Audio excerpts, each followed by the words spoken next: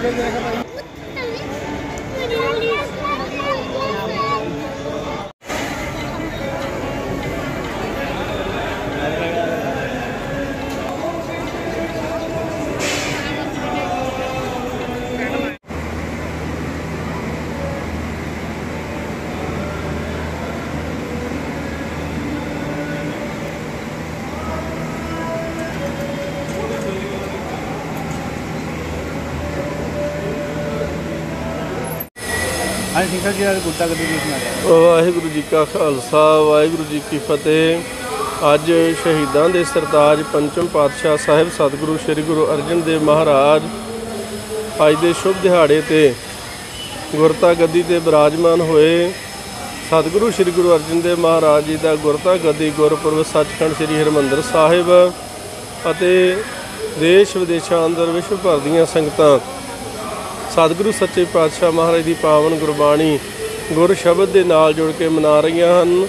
ਤਖਤ ਬੈਠਾ ਅਰਜਨ ਗੁਰੂ, ਸਤਿਗੁਰੂ ਕਾ ਖਿਵੈ ਚੰਦੋਵਾ। ਸਤਿਗੁਰੂ ਸੱਚੇ ਪਾਤਸ਼ਾਹ ਮਹਾਰਾਜ ਪਾਵਨ ਪਵਿੱਤਰ ਤਖਤ ਤੇ ਬਿਰਾਜਮਾਨ ਹੋਏ। ਸੋ ਗੁਰਤਾ ਗੱਦੀ, ਗੁਰਪੁਰਬ ਦੀਆਂ ਸਮੂਹ ਗੁਰੂ ਨਾਨਕ ਨਾਮ ਲੇਵਾ ਸਿੱਖ ਸੰਗਤਾਂ ਨੂੰ ਬਹੁਤ ਬਹੁਤ ਵਧਾਈਆਂ। ਵਾਹਿਗੁਰੂ ਜੀ ਕਾ ਖਾਲਸਾ, ਵਾਹਿਗੁਰੂ ਜੀ ਕੀ